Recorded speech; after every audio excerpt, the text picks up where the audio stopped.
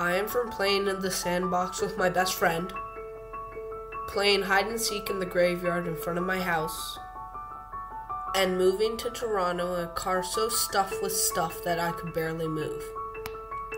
I am from playing with my drone in the cul de sac where I live, going camping with my stuffed animals, and playing with toy blocks in my living room when I was little.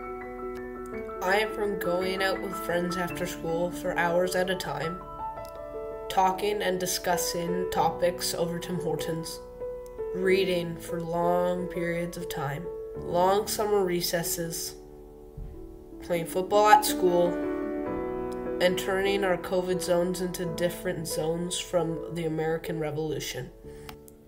I am from Toronto, the soil ground with tiny forests here and there, construction every three blocks, giant buildings in the middle of the city, fast food restaurants everywhere, and houses that are 50 years old in some parts of the town. I am from eating junk food. I am from eating healthy food. I am from eating my mom's favorite food, like ramen, stir fry, and Thai food. I am from going to parties and eating party food, having football wings, and eating fresh meat from our farmer. I am from the Ingledews and the Souffrons. I am from the generation that will solve problems like never before.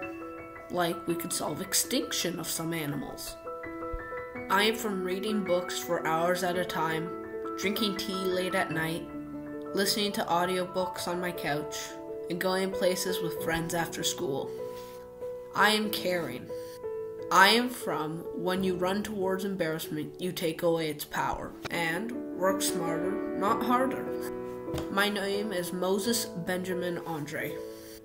I hope that we can take all the bad that COVID has made and put in the past so that we could return to normal and get on with our lives.